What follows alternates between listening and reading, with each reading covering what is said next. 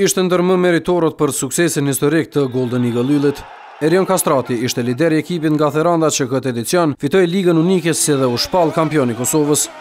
Basketbollisti 26 vjeçar tha se rrugëtimi deri në arritjen e këtyre sukseseve ishte mjaft i vështirë. Tanë play-off-in e kemi pas shumë vështirë.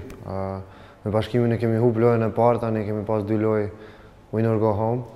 Mendoj me Rahovecin pesë, edhe me Pejën, nëse dikush s'i ka kqyr, s'i ka kqyr lojët, tri zero, nëse dikush mendon që u kanë lehtë, hëm, nuk u kanë.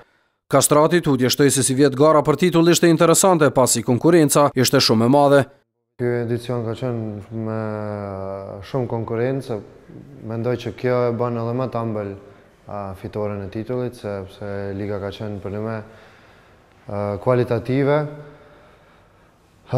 Për dallim me Slloveninë, kjo unë mendoj, e kom thanë edhe ma herët që Sigurisht që klubet e Kosovës kishin mujt m'u kanë top tri edhe në Ligën e Sllovenisë.